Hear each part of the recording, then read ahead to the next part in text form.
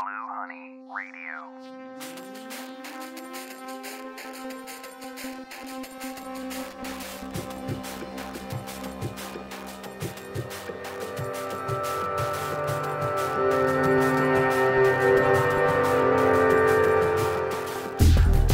All right, welcome to Blue Honey Radio. I am Andrew, and this is episode number two of the Lost Interviews. As always, you can visit bluehoney.org for this episode's corresponding webpage. There you will find detailed information, images, web links, and all sorts of good stuff. One of the best ways you can support this podcast is to make a pledge on patreon.com. You can pledge any amount you'd like per episode, even a dollar. You can easily find a link to my Patreon profile on bluehoney.org. Just follow the link to Blue Honey Radio and it'll be right there. Or you can go to patreon.com backslash bluehoney. And if you're listening to this podcast on YouTube or somewhere with links in the description, you'll probably see a link there as well. You can also support this podcast by visiting bluehoney.org and ordering a t-shirt. Okay, let's get into this. Timothy Freke is a philosopher, author, and public speaker. He calls himself a stand up philosopher.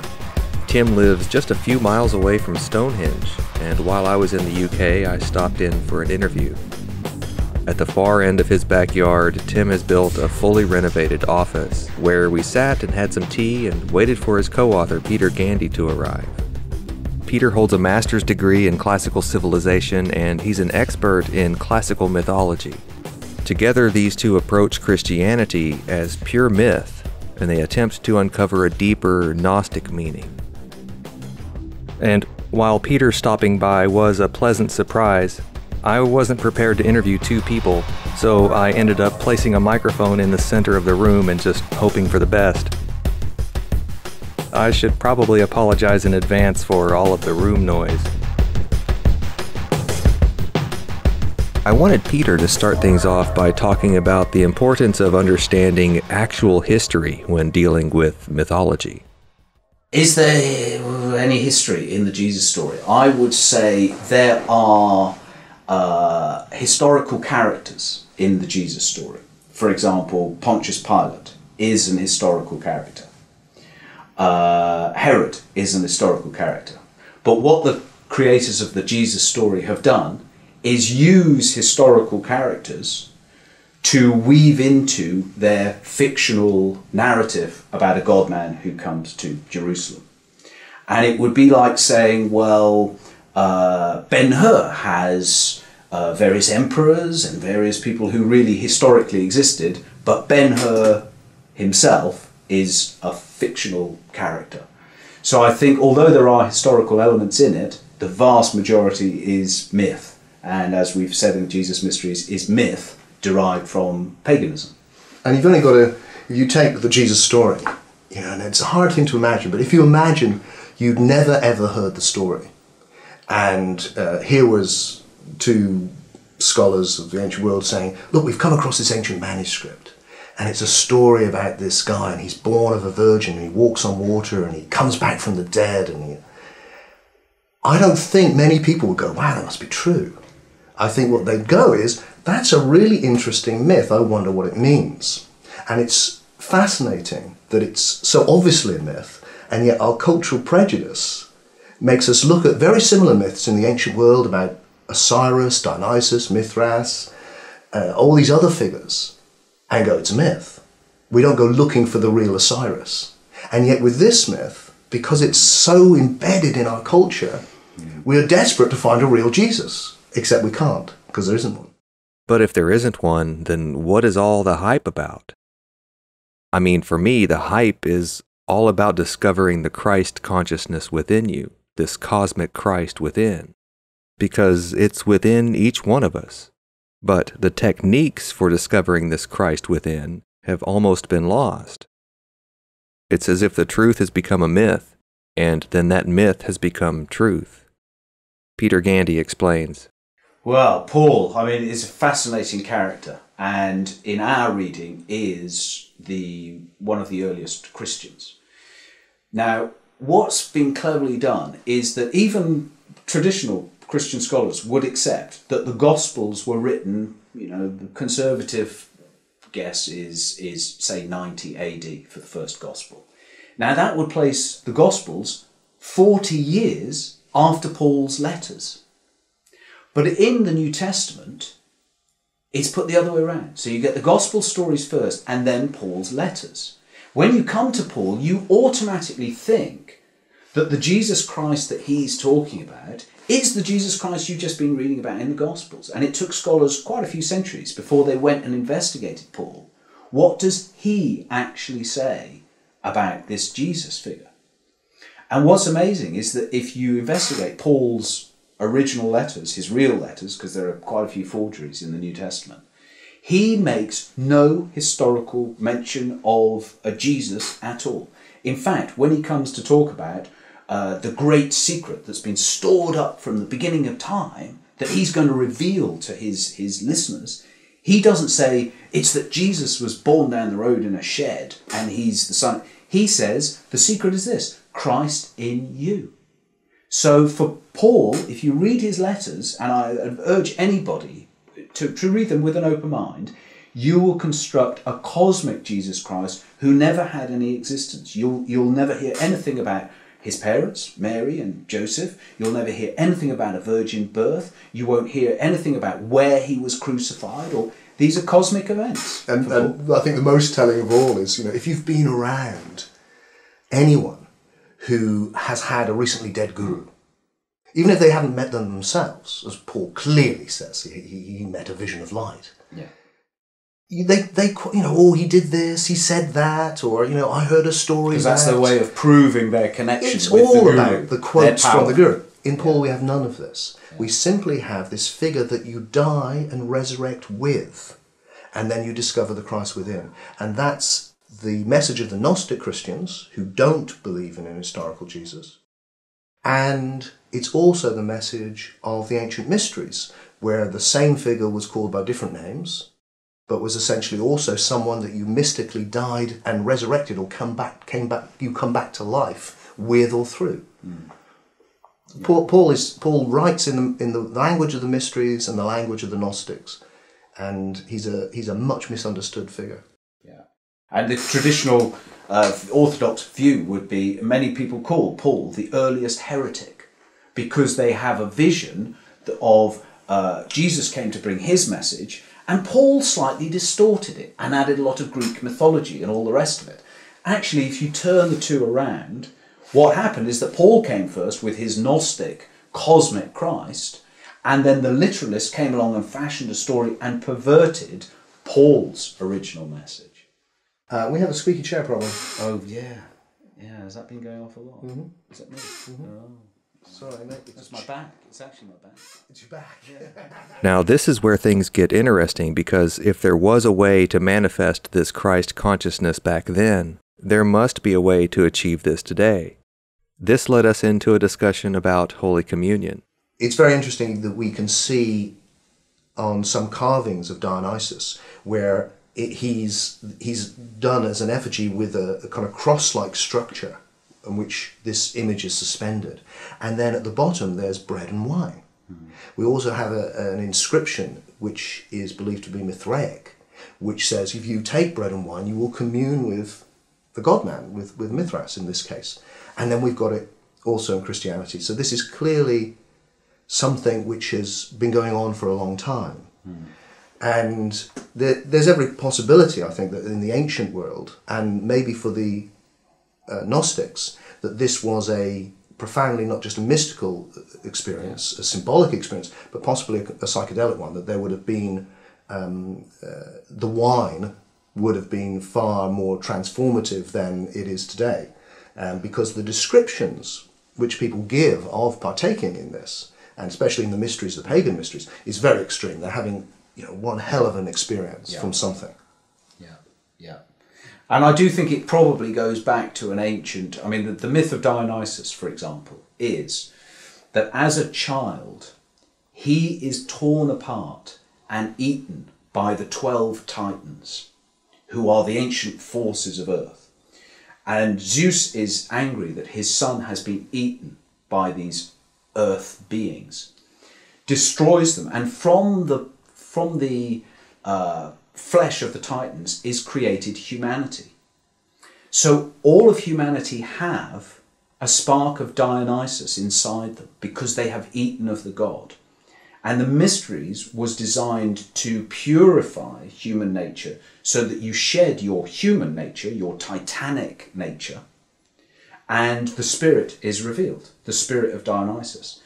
Now, I think there is a connection, many classicists think there is a connection. Behind any myth, there was an earlier ritual.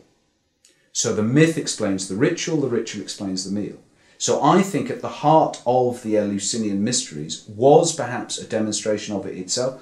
Twelve people eating the body of the god, which of course is exactly the vision you have at the Last Supper. Twelve people eating the body of the god. And I think that is an explanation in the ancient world of how the divine spark is in us how is it that human beings are not just animals? We are different from animals. We are not just earthly. There's a divine spark in us. And I think this explanation is, you know, comes from this ancient cultic practice. And as Tim said, you know, the, the early Christians themselves said, Yes, we know in the mysteries of Mithras you eat the body and drink the blood of the god. Well, actually, I think it was water then in the in the Mithraic mysteries. So they acknowledge perfectly openly that the Eucharist happens inside Mithraism, um, and I think it was a part of all the mysteries. To be honest, I think there was a cultic meal symbolising eating the body of the god. So for the select few, the mystery was revealed, while everyone else was fed the myth or the religion and this left a gap between those who had the direct experience and those who had only heard tales or rumors about it.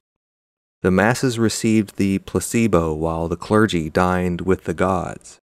Soon the myth became legend, and the legend was remembered as history. Before long, the entire process became a part of an elaborate initiation. What you see with the Gnostics, I think, is that there's a process by which you come to this gnosis. And I think they're quite happy uh, for people to take the story literally to begin with. Hmm. I think there's a level in which you understand that in that way. So the first initiation for them, it's called the psychic initiation, which just psyche just means soul. So it's the soul initiation.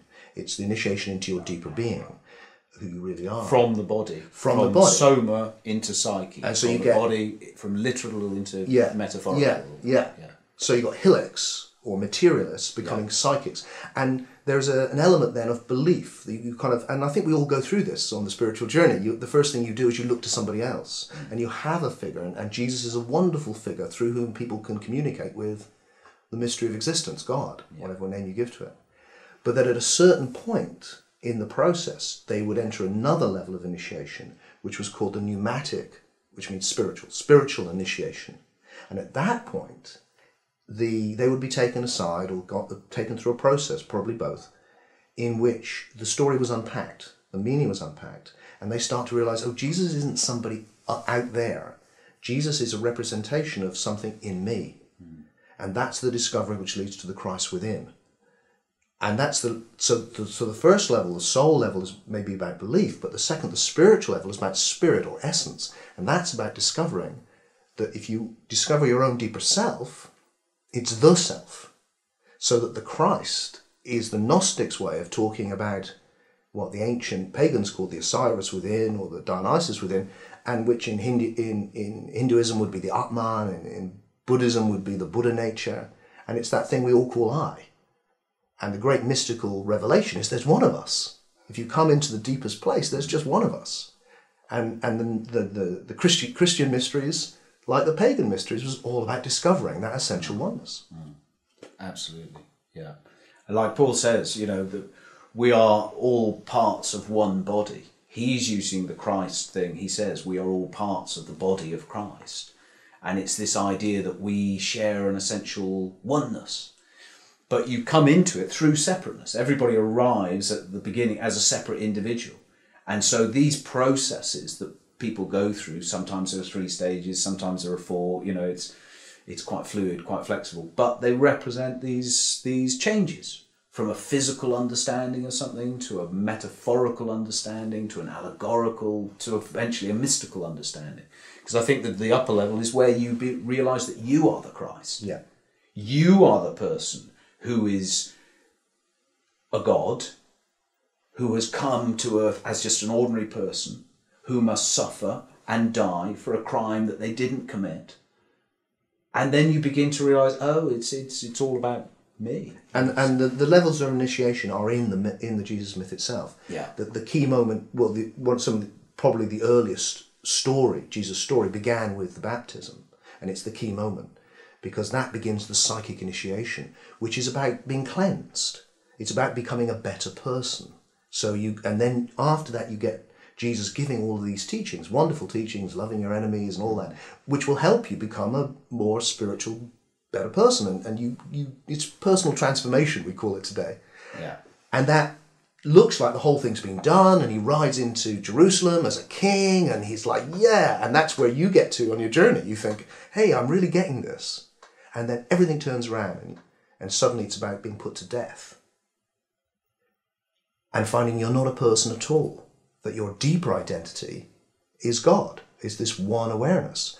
So that you he then has to go through this whole process, which each one of us goes through, of dying to the separate self and waking up as something much, much, much bigger. I think it's elemental as well. There's a definite um, allusion in all of this to earth, water, air, and fire as a process. So, like Tim says, you have the baptism that starts it off. Jesus says himself, I've come to baptize not just with water, but with fire. We know that in certain other myst- of the mysteries, um, they used wind. They, they like sm- the smudging thing Yeah. they do in. They use uh, the air. They used a winnowing fan.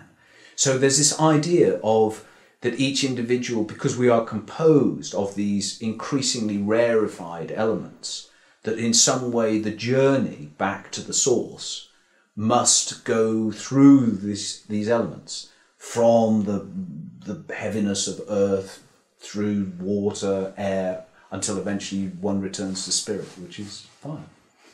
And I think it's all it's all there in the Jesus story, as it was in all the mysteries as well. And we'll discuss initiations and these sacred plants again in just a few minutes, but this conversation changed gears as we started talking about psychedelic mushrooms, which, and you'll see why in episode 4, led to a conversation about Christmas. I love celebrating Christmas because uh, I have children, and that makes all the difference. For me, it's about, well, like all these stories and myths and fairy tales, there's something which engages with a mind that we, we're in in childhood, the imaginary mind. And as we get older, we learn to discriminate further so that we can leave that behind. But how lovely, especially when you have children, it's much easier to come back and enter that. So to have a thing where you're full of, you know, a Christmas tree and it's all sparkling and there's gifts and time stops. For me, it's about playing. I have a chance to stop all my activity as a grown up in the world and just focus on playing and play. And I love that. So you and in this myth, I see my children do the nativity story, and you know it's beautiful because it's a it's a very old, it's a very beautiful story. I don't have a problem with any of that. I think you know I'm very very pro all of that. The only thing I want to add is you know just as a certain point in their lives they will figure out there's no Santa Claus. At a certain point in their lives they need to also figure out that that is also a myth. And what's encouraging about the children I see in the UK, at least, is they all pretty much figure that out pretty quickly now. We're leaving that behind. And that's really good. Then we can celebrate. You see, I would like to see the whole of religion become like a, a cultural artifact, something which we, you know, a bit like country dancing or something. No, no one really takes it seriously, but we enjoy it because it's lovely. It's kind of our heritage. So we're not in it anymore. And then when we're free from it, we can take the good bits and leave the bad bits. And if we can do that with with all of the our religious heritage, we can take the Bible, for instance, and go, you know, let's just take let's take love your enemies. Fantastic. You know, there's a lot of stuff in there, just wonderful, challenging, deep stuff. But we can leave the gnashing of teeth. You know, we don't need that anymore. And and it's that ability to take what works and leave behind. That's what the evolution of culture is. Hmm. But you don't abandon the past. all the beautiful music and the buildings and the traditions. We, we, we just see it differently. I bet you don't celebrate Christ- Christmas at all. I don't have children. I hate Christmas. Bar humbug. I say to you. After, after Peter and I had written the Jesus Mysteries, we played uh, with the idea of maybe doing the Santa Mysteries because you suddenly saw that the same thing was going on. And I, I experienced this myself with my first time I, with my son when I became Santa. And I saw, oh, look, hang on. I started as a child and I really believed there was a Santa Claus. He was a figure out there, this amazing being who came and gave me things for no, you know, no reason. If I was good enough, you know, but he came and showered gifts on me. And then I learned there wasn't a Santa. And then I discovered I became Santa. And here I was, kind of embodying a god. Here I was, tiptoeing around the house with this big bag of gifts, which I'd worked really hard to, to buy. And I was going to put them at the end of the bed and pretend it was Santa. And I wasn't going to take any of the credit. And for that brief moment, I became the spirit of generosity. I just gave it all away. Hmm. And you see the same thing in the Jesus story. You know, you start off thinking he's a figure out there who's going to save you. And then you discover, no, there isn't a figure out there who's going to save you. And then if you keep going with the process, you find that there's a figure in you, your deeper self, which is going to save you. In fact, it doesn't even need to save you because just in the discovering of it, you are saved. The word, you know, when you hear all this time, Jesus saves, what the, the in the Greek, what that means is is to be made permanent. You discover something in you which just is permanent. Hmm. It's beyond birth and death. It just is. And that's the greatest relief you can possibly imagine. Peter briefly mentioned Attis earlier, and I thought it would be good timing to draw a connection between Attis and the Christmas tree. Uh, the festival of Attis, which was celebrated in Rome around the uh, vernal equinox, I think, the spring equinox, uh, a pine tree was brought in and was set up. Now, it's a mystery, so we really don't know what really happened in the mysteries of Attis. But we know that the pine tree was integral to it. I suspect that this is my gut feeling, I'm not really sure I've got evidence for this, that in this, the, the tree always represents the goddess. And one finds this in the Jewish tradition as well. We find in, in a lot of archaeological, a, a, a post was set up or a tree was set up called the Asherah. And that was Jehovah's Asherah, his consort. So I think that represents the female principle. And hung on the tree was the figure of the god, Attis or uh, Jesus as it is in the Jesus story. And I think that represents the two forces, the eternal continuing force of nature, which is eternal and continues, and hence the pine tree, which is a coat which doesn't drop its leaves. It's green all year round, which the Greeks saw as something quite miraculous. And on that is hung the nature god, who is the son of nature, who is the life, which blooms in the spring and flowers in the summer and then dies in the autumn and is buried in the earth. And I think that relationship between the eternal mother and her ever living, ever dying son is obvious in Christianity, it is obvious in the Attis mysteries, it's obvious in most of the mysteries as those two polarized uh, forces. I mean, in the Christian thing, the palm becomes a symbol of, of victory. Again, it's an evergreen plant. And, and, and ivy is a symbol of Dionysus. It's an evergreen. It's always there. It doesn't die. It doesn't, you know, it's, it's eternal. So I think there's, yeah, I mean, there's, Christmas is full of pagan, pagan regalia. Yeah. Of course, anyone who knows me will tell you that I'll throw the Amanita muscaria mushroom into the mix along with Attis and the pine tree. But instead of going this direction, we started talking about some of the things that people get caught up on when they're trying to either step away from such a firm belief in the Christian story or something people use to give that story some valid historic presence. Josephus was the first name to surface. Josephus is a Jewish historian. He's a kind of he's a he works for the Romans. He's a paid employee to write appropriate histories. And there's a little passage in Josephus which is quite remarkable. And it gets wheeled out all the time, you know, taken very seriously. You'll hear it on If you went on an alpha course in this country, a Christian training course, you would be given this as one of the key witnesses to the his- historicity of Jesus. And the reason it's so important is because although there are some mentions in other texts of historians of Christians, vaguely, there's nothing which would, would be real evidence. There's nothing for the man. And yet, here, in this Jewish historian, there's a whole passage where he talks about Jesus in most glowing terms.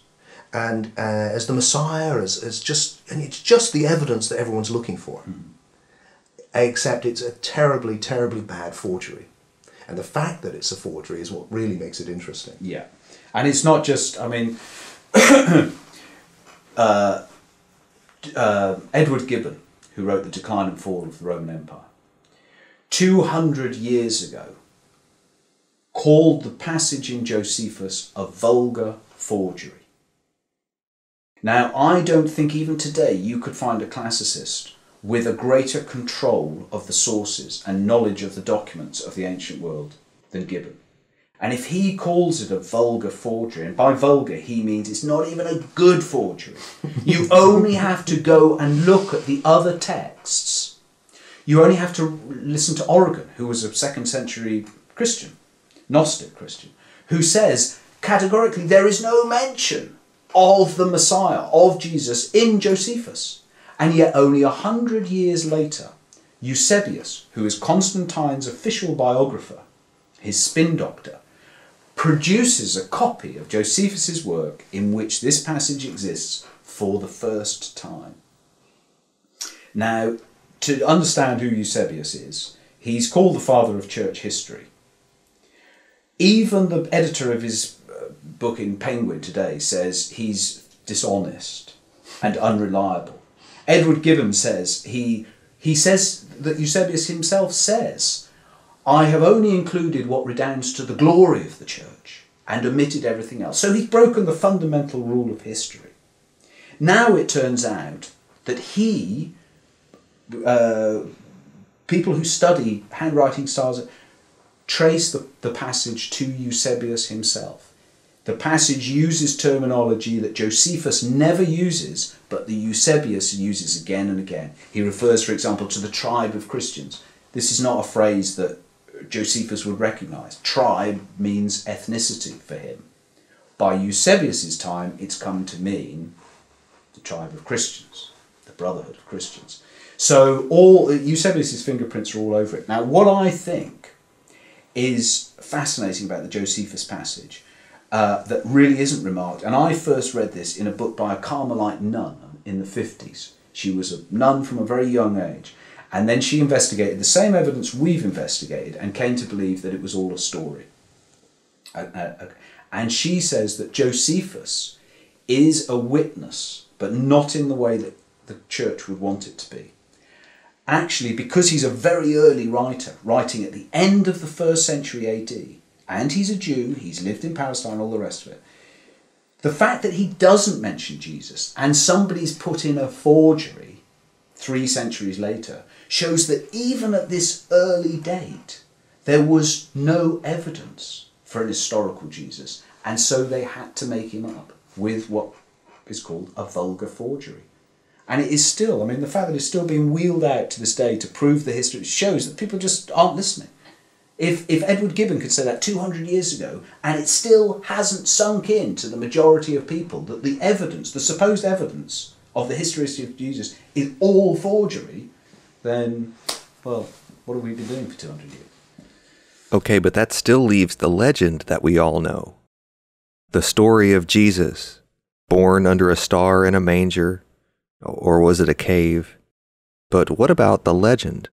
question we get a lot is if there was there must have been a jesus because how else would this have happened that this, this religion would have taken over the world you know someone had to start it and of course someone did. And there's a huge amount of wisdom put into the mouth of jesus and somebody wrote that somebody said that.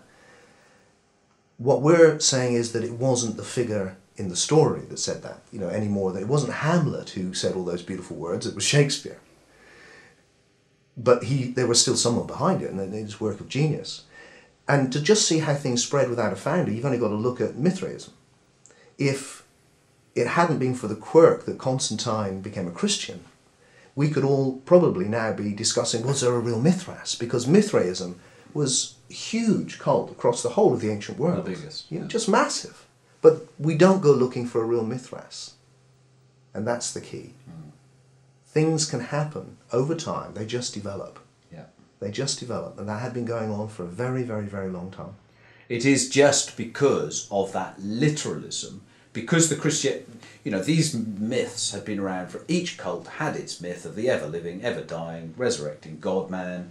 Um, and it's only because Christianity discovered, probably by just a mere vagary, you know, in, in the, the marketplace of Rome in the end of the second century, there were a myriad of cults. Rome had drawn in people from all over the, all peddling their mystical wares and their fantastic Very much like today. Very much like today, yeah. And the Christians came up with a, this new angle. No, everything that you're talking about, this is all myths. Our story really, truly happened. Now, once you've done that, great, you're going to get, you've got a new take on an old, old story. It's just what every marketing person wants. But you'll then hoist on your own petard. Because if you can't back that up, with evidence that this really happened, you start looking stupid. And that's why we see in the early years of Christianity a veritable fantasy factory where people were just producing. Celsus, one of the pagan critics, was saying, You can't argue with these Christians because you say to them, This never happened. They run away, they write down something, and then they come back and they say, Look, it's in here.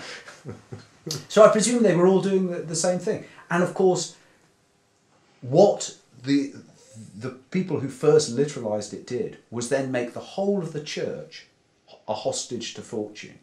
Because for for centuries millennia nobody really could check it or verify it or investigate the sources or had any interest in doing it. Eh, palestine the eastern mediterranean was closed anyway it's an arabic you know christian scholars couldn't nobody could go now we live in a forensic age where people are going back and they're investigating the sources. There are archaeologists swarming over the middle east. And we will make you know a scientific hypothesis is you, you, you can't you can't prove it but you can you can make it predictive. It will predict certain things. And we will predict that there will be no artifact that verifies the Jesus story ever found. There are many artifacts that turn up in Jerusalem antiquities markets all the time claim to be the bone box of Jesus or a nail from the tree. All of them will be disproved because no such historical figure actually occurred. It was just a literalist marketing technique and it worked, which is why we're discussing it today. And a, a very important thing for us is that we don't know there was no Jesus. You can't know. You can't that. prove a negative. You can't know that. So at the end of the day, you're just balancing evidence. Hmm. And so you just stand back and you go, okay, so which was more likely? This evolution of ideas, which had already been happening, whereby Jewish and pagan motifs were being combined, and that just continued, and we got the Jesus story, or God made a once only visit to planet Earth, was supernaturally born of a virgin, uh, walked on water, died and resurrected, and then kind of left us to it. You just, uh, do you know what? Actually, this one's a lot more plausible, hmm. and that's the that's the, the place you have to end up in. Yeah. What I love about the approach that we've taken, though, is it doesn't diminish Christianity. Actually, it brings it to life. Hmm. It goes, this is even more important than we thought, because it's actually about each one of us discovering who we really And are. also, when you connect it with its ancient sources, you don't have a story which is, you know, this story's been, been beguiling the West for 2,000 years. But when you realise that it's a, it's a continuation of pagan stories and that they go back into ancient Egypt, you're then, the Osiris legend comes to us right in the earliest pyramids, two and a half thousand years BC. They were telling the same story. So it really is the greatest story ever told. It fascinates people. Of course it does. Who wouldn't want the promise of immortality? That end that the end of your life, for all of your efforts and all of your suffering, you will go to a blessed place where it will all make sense and you will enjoy you know, who wouldn't want to buy into that thing? But let's make no mistake about it, it's the greatest story ever told, but it is a story. And that's when Peter told me about an ancient Gnostic text. which is fascinating, which talks about the, the, the birth of Jesus. And it describes an enormous cave in which a light suddenly appears. And then when the light goes, there is a child. And we think that this image of the cave, which is one of the earliest images, goes back to Plato's cave, which is one of the famous analogies for anybody who was, you know, who went to the gymnasia, wrote out, you know, trial bits of Plato, they would be totally familiar with the myth of the cave. I think that's very important to understand exactly how that. Just as today, there are, you know, if I said to you, the Force or lightsaber, you'd immediately jump Yeah. to Star Wars. You don't. I wouldn't have to say, you know, like in Star Wars, that in their literature they could make a reference to the cave, and you go, oh yeah, like in Yeah. Plato or Pythagoras. Probably Yeah. goes back to. So Plato's cave, in which we are all prisoners, is what Plato says. We are in this cave, we are watching shadows on the wall and mistaking them for reality, whilst the true source of light is from the mouth of the cave.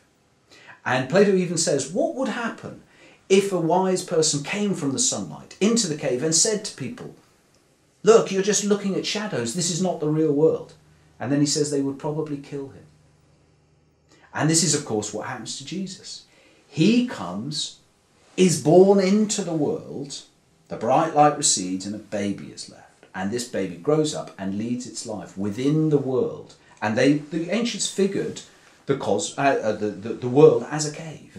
Because we're in this dark night when the, you know, we're, we're in this dark. And the real uh, universe of light is outside of that. The stars are little holes in the darkness through which the light comes through. That's our true home, heaven. That's where we want to get to. And Jesus follows this paradigm exactly. So that at the end of his life, after he's died, he's buried back in a cave. And then when the disciples come to seek him, they find that the cave is empty.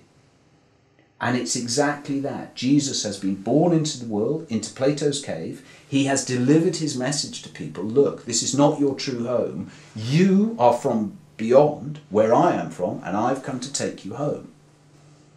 And, and that's exactly how the story unfolds. As we were discussing celestial mythology, Peter really honed in on sun worship and solar mythology. I think there's a lot of solar mythology in the Jesus story, as well as there's astrological motifs, there are probably psychedelic motifs, there's a whole lot of Jewish mythology, but also there are a lot there's a lot of solar mythology. And you could say that Jesus is not just the Son of God, S O N, but the Son of God, S U N.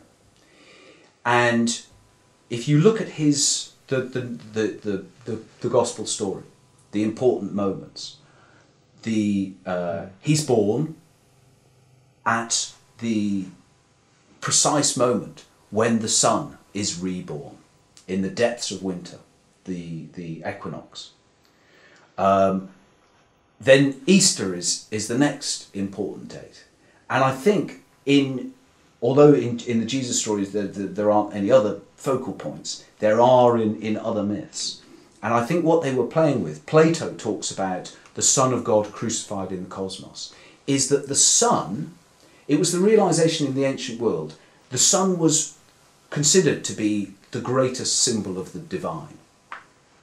And then as scholars began to study it, they realized that the sun itself followed this course, which was mapped out by the two solstices and the two equinoxes. And that the sun itself, therefore, was subject to outside laws, was not the highest God.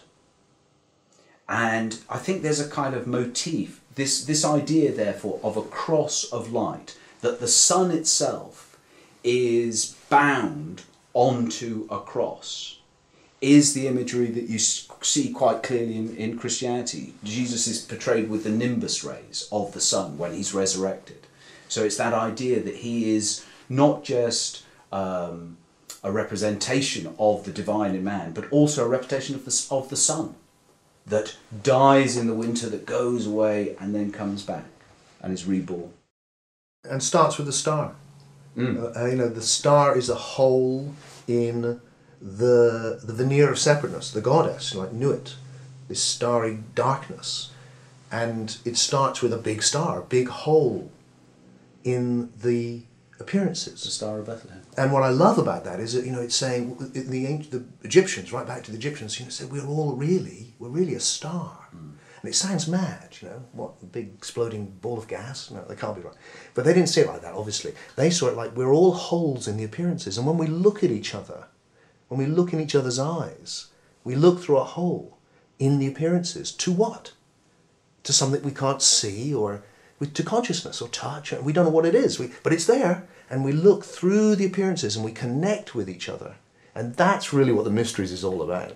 It's about seeing our real nature is, is not in the appearances. It's something much deeper than that. And connecting through the appearances with the source of light, of hmm. consciousness. Hmm. And I think there was a real split in the ancient world between body and spirit. These were two, uh, two separate, dis- distinct things. And the whole idea was about getting away. You know, this is why Jesus' body. You know, the whole idea of being crucified, of the body being removed from the body, then the soul can fly free, can go to its to its home. And that's what Plato says as well. I mean, he says we we have come from a star, and when each of us dies, we go back to our star. Well, at the end of the Jesus um, story, you know, when he's crucified, the, the veil of the temple is ripped in two, isn't Yeah. it? And the veil of the temple was a picture of the night sky. Yeah, a whole image of the heavens, the So, zodiac, the, The, stars, the veil, planets. which is the dream of life, the goddess, the appearances, is, is opened. And as Paul says, he conquers the cosmos. He comes Yeah. out into the light Yeah, and is therefore uh, no longer imprisoned in the in the appearances. Yeah. And that's what this that's what the gnosis is. The gnosis is ah, I think I'm imprisoned in this body. I'm thinking, and really, it's the other way around. I'm the this vast awareness. I'm the Christ. I'm the I'm the presence of the big mind of God, and within me there are these appearances. And as you as you, you think you're in it, you're kind of stuck in this small little uh, cave. You're, you're caught in a in a box, and then you come out, and you're in this big empty space. And that's the transformation the whole story's leading you to. The veil being opened, coming into the light, no longer being imprisoned by your appearances. This to me sounds like ego death from a psychedelic experience. I mean, after a while, it just becomes obvious that psychedelic, sacred plants and mushrooms were used to achieve these higher states of consciousness. I think uh, it's almost inevitable that uh, psychedelics have been playing a part in uh, religious, mystical experiences since the beginning of time. They are a powerful way for human beings to blow their little egos out of the water and contact the divine. I mean, one thing, you know, the whole of spirituality has its roots, ancient roots, in the shamanic traditions. Hmm. We still have those traditions, Yeah. and a, a huge number of them are based on whatever the indigenous psychedelic happens to be in that area. Hmm. Because what could be more natural than you pick up a mushroom or something like that, you ingest it, and my God, you're having visions. You're seeing life in a new way. You're seeing through the appearances. You have a greater understanding, or at least your, your, the confines of your common sense understanding is exploded. And it's transformational. Yeah. So, but as regards, because, and this is the problem with the ancient pagan mysteries in general, they were mysteries. Everybody who participated was sworn to secrecy. And what's incredible, that the mysteries of Eleusis were celebrated for a thousand years in the Greek world. Many people, Roman emperors, Cicero, Seneca, uh, all the greats, were initiates. None of them broke their oath and told us what happened. But we know that initiates drank a drink before they began on the sacred way to Eleusis, which was a painful purgatorial process. They were beaten by people with rods. Uh, it was meant to be a, a visceral physical experience, and I'm feel that it was it was certainly heightened by fasting. So whatever, if they did take anything, then we know that that would have been intensified, because it always is when you when you when you fast beforehand. Uh, archaeologists have found opium pipes at Eleusis. So we- we've got enough hints to know, and they the ancients were master pharmacopoeists. They they, they knew all of the intoxicating, and it, as Tim says, it came out of the shamanic tradition. There isn't a shamanic tradition that doesn't use power plants. I don't think. Not the oldest ones, I'd say. So it's kind of inevitable, but the clues, again, you know, it's very, very difficult. We haven't focused on this area in our work, but Um, there's a guy called uh, Michael Hoffman who uh, has investigated this area and produced a lot of lucid work.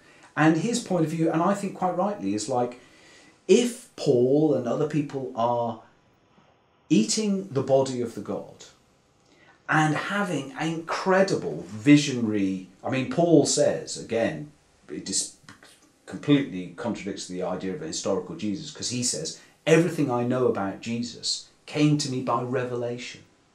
Where's this coming from? What is the source of his experiences? I wouldn't be at all surprised. I mean, uh, a chap called John Allegro many years ago wrote a book, The Sacred Mushroom and the Cross, which was about precisely this. He believes that uh, the cultic meal of sharing the book was people getting together and eating some psychoactive substance together and having revelations of the Holy Spirit, what have you. So I'm I'm open to to any investigations and whatever evidence comes up. You know, I think it's through personal experience myself one of the most powerful ways to well Aldous Huxley himself when in uh, is it Heaven and Hell Doors of Perception? Doors of Perception when he see when he looks at the um, the bamboo chair I think it is and he says I suddenly and this is a man who spent his entire life writing about the religious traditions of the world the mystical traditions of the world but he never actually had an experience. And here he was on mescaline I believe mm-hmm. looking at this chair suffused with light and he says here all these words that people had used before like grace and all these mis- suddenly i was having that experience which is fantastic. I think didn't he die on LSD. yeah Uh, Alan Watts the same. Uh, again, a great scholar, actually had the experience in this way. So if that's happening to people today, I think we can safely assume it's been happening to people for a very, very long time. yeah Now, of course, people have mystical experiences in other ways, that's for sure. Uh, but it is one of the ways. I've just thought there is an illustration. It's used on Robert Graves's Greek myths, uh, uh, which is one Maenad, who were the female followers of Dionysus, holding up a mushroom Yeah, to another one. Do you remember that Yeah, one? It's yeah. on the cover of the Graves thing. It's an illustration. So there are numerous hints that this was going on. I wouldn't be at all surprised if it's. I'd go further. I'd say, I'd, I, really, I'd be surprised if it wasn't true. Yeah. What we can't say, and the reason that um, Peter and I haven't pushed it in our, our research, is because if you're coming out and saying Jesus doesn't exist, it's such a confronting thing for most people that we've tried to keep to everything we can absolutely meticulously back up. But here is another possibility which others have looked into much more deeply than we have, and yet, really, you know, it would be such a surprise to see such a, uh, a powerfully transformative process going on that didn't draw on this in some way because they didn't have the same taboos which we've we've now got around changing consciousness. Yeah. But today those taboos exist, and the masses still get the placebo, while the true experience is what has become taboo. And this led us into a conversation about Holy Communion. With the communion where you take the wine and the bread, it works for people because it's done in a ritual context. People do have profound experiences, but I think very often, certainly over time, you know, it's a bit of a letdown, really. Uh, what is probably uh, the case originally is that the wine would have been suffused with something, and also that the bread itself, there's a, a um, psychedelic um, fungi. Well, that's where Which- LSD is, is synthesized from ergot of rye. Yeah. And they believe that at certain points, when, when the when the bread was infected, and the medieval um, St Vitus dance, for example, Yeah. if the if the if the the fungus has attacked the crop before it's turned into bread, the bread itself Become psychedelic. becomes psychedelic. And there were many eruptions in the Middle Ages, in particularly damp summers, when the ergot would flourish, when people would would would, would go kind of crazy. And, and if that's So- true, then you know the way to understand religion is you've gone from a powerfully transformative event where you would take these psychoactives in a ritual context, uh, probably alongside some sort of ritual death, and your state of consciousness utterly transformed. Yeah. To uh, a little little bit of white wafer and some uh, tiny sip of wine. In a, in, a, in a context where you're going to go back and sing. Well, I think it must always be the function of organised religion to neuter to emasculate the mystical experience. Because what you don't want is people having their own access to the divine. So if people are taking a divine and then having their own personal act, they don't need you. What, what role The whole point of organized religion is to mediate the divine. They are the intermediaries between you and God. That's the way organized religion works. So it must always, and I think it happened in Hinduism with Soma. If you read the Rig Veda, all the Vedic hymns, out of a thousand, I think 990 are hymns to Soma. It is the, the blood of the gods, it's the vision of eternity, it's the white gleaming swan of eternity. It's like, but now in Hindu culture, Soma is just a milky drink. And I think the same process has gone on. People have realized if you want to actually control people, you have to shut down their access. And it's certainly what happened with Gnosticism. Gnosticism said, no, God is in you. Like Paul said, Christ is in you. That's fatal for organized religion because then everybody can have their own personal relationship with Christ. Why do I need to go to church to experience Christ? I can do it on my own. And I think that's, you know, it's, it's inevitable, really. Very hot in here. Uh, can't do much with that without noise. No. I can cool it down for a bit if you want to. Do you need to have a break? Do you? You look a bit shiny. I'm very shiny. Yeah. Mm. Shiny, happy people. Do you want to cool it down for it? Yeah. Okay, I'll do the drawing. And just like that, we took a break. And while we were outside talking, I mentioned how fascinating it was to me that back then, the newer, better myth could just swallow up the others, but still be built upon those very same myths it was swallowing up. Timothy laughed and said, Some of them are literally built upon those older myths. At the place where, the, where there's now stands the Vatican, there was once a sanctuary to Mithras, who was the most significant of the dying and resurrecting God men before Jesus, immediately before Jesus became popular. So historically, I love that because it, it's actually in, in, the, in the ground, underneath the ground, there are these ancient sanctuaries, and you'll find it all over. That you'll find that pagan uh, sites have been built on. Hmm. And you look at that, you go, well, there's political reasons for that. It's kind of the obvious evolution. It's you know the past is underneath, and the, hmm. but also it works in terms of culture. Hmm. That our ideas are based on what's gone before, Yeah. and that symbolizes perfectly for us the situation with Christianity. It un- just peel away this thing, and then underneath, oh look, Yeah. there's where it came from. It Yeah. didn't just arrive from nowhere. Nothing ever does. Yeah. Yeah, because I think that's the great, you know, problem with Christianity is it, it creates a sort of year zero, like communism did, Literally. or, or Pol Pot in Cambodia, literally. Um, and then it gives you an idea that Christianity sprang fully formed into the world, this new revelation. And if you accept that, then it does look like a new thing. But like I said, the Christians had to destroy all the evidence before them.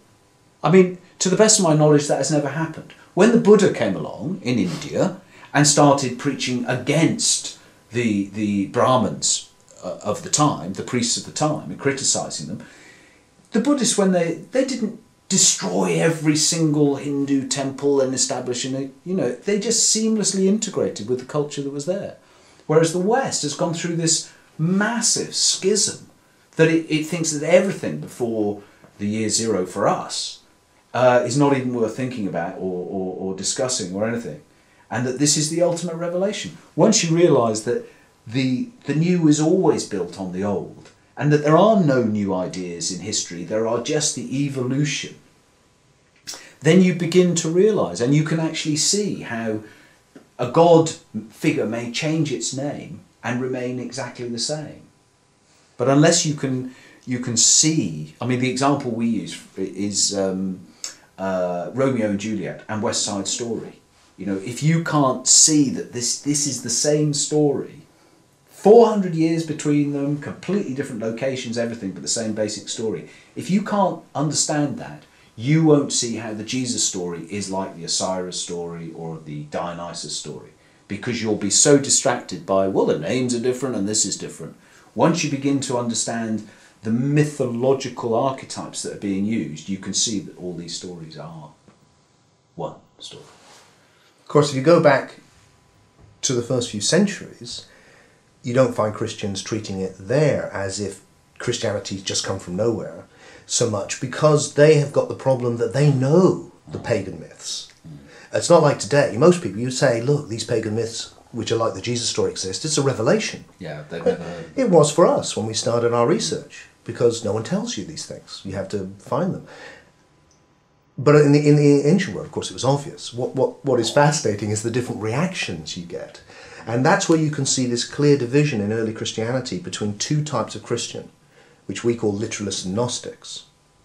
For the Gnostics, the explanation for why these ancient pagan myths are so similar to the Jesus story is Jesus is the same myth. He is, they, in one of their texts, they call him many faced Attis. He is Attis, another face of Attis. He's the same perennial God man in a, in a Jewish form as Joshua. He, he- but for the literalists, and th- they're not arising really until the end of the second century, but at that time, how can they explain this? They've got an historical Jesus. How can these myths predate it? And yet they do. so they come up with this fantastic theory, which I still get thrown at me a lot uh, when I talk about this. It- it- the devil did it. The devil came in advance. It's canny, the devil. He created all these myths so that when Jesus really did come, everyone would be very confused. It's kind of plagiarism by anticipation. He's done it before it happened.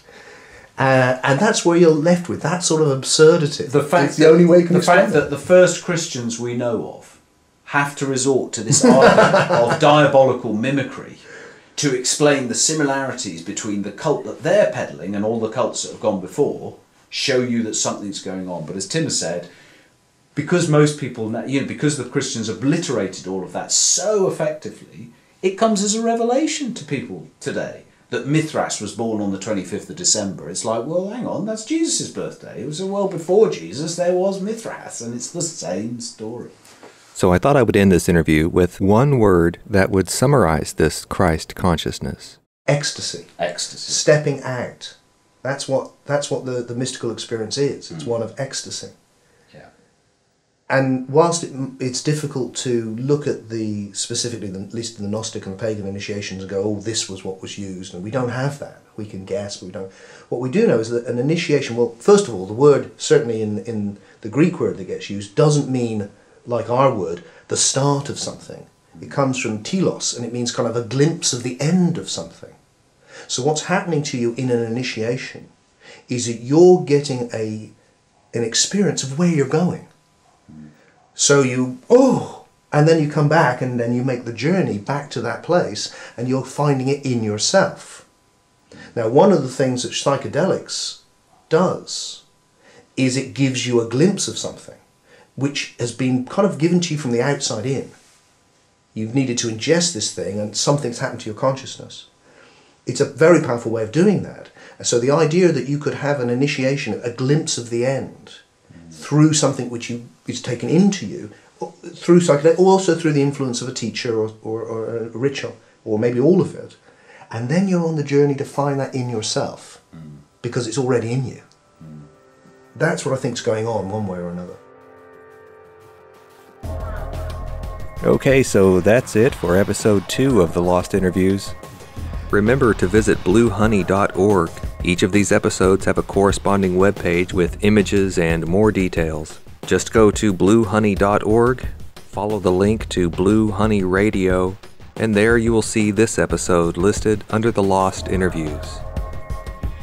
And while you're there, be sure to check out our new t shirts on sale. All of the profits for everything sold on my website will be used to make this podcast better. So, as always, I want to thank everyone for showing your support. You can also show your support by checking us out on Patreon. You can find the link on bluehoney.org or go to patreon.com backslash bluehoney. That's P A T R E O N dot com backslash bluehoney. For updates and some random thoughts, be sure to follow me on Twitter at bluehoney underscore org. That's bluehoney underscore O-R-G. Be on the lookout for episode number three of the Lost Interviews. In this edition, we explore the world of altered states with Dr. Dennis McKenna. Until then, stay tuned, everybody.